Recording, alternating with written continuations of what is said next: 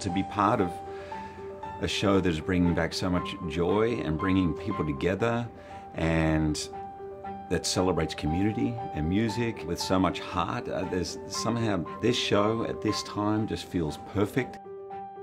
I have a greater appreciation, a, a greater gratitude, uh, not taking one day for granted. Every day I get to walk into a Broadway theater is a great day. I get to tell my five-year-old daughter. That's, this is the biggest difference is that I'm on Broadway and I have a five-year-old daughter. I remember she said something to me once. I said, I said, I have to go to work. She goes, you're not going to work. You're going to go sing. I was like, yep, you're right, kid. You're right. To be back and to be doing The Music Man is, is crazy insane and crazy crazy. To be there right now every night on Broadway is, I'm just so grateful and I just, it's thrilling, to be honest.